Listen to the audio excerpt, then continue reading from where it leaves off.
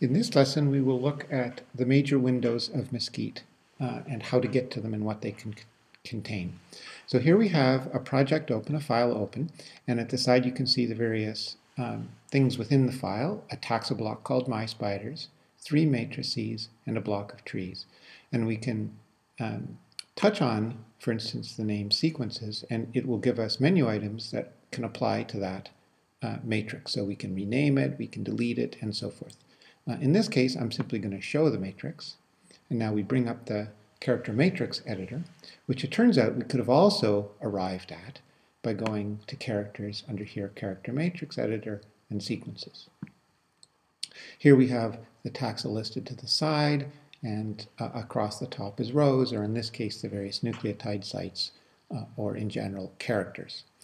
Um, we can go to other uh, uh, matrices similarly by touching on this.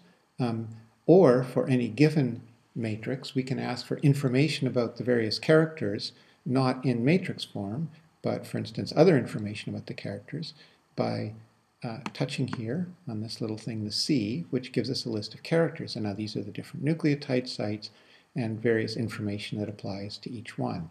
We can do that alternatively by going uh, here uh, to one of the matrix icons and ask to list and manage characters.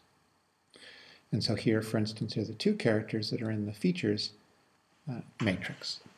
We can do similarly for taxa outside of a matrix, just a list of the various taxa by touching on here and say list and manage taxa. And this actually is a fairly important window where you can um, uh, set characteristics of the taxa apart from uh, their particular uh, character states and matrices. So you can go to columns here, columns here and ask to show various names, uh, various um, columns that are information about each taxon.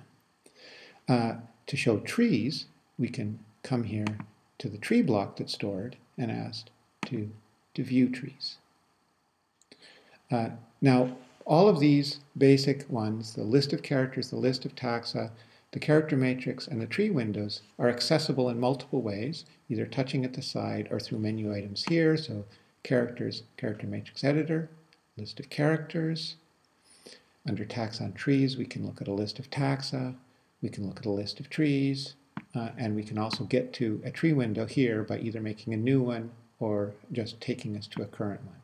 Once we have these various windows up, we can go from one to the other by touching these tabs we can also uh, uh, show two at once by touching the little arrow here, um, going here and saying put in separate tile.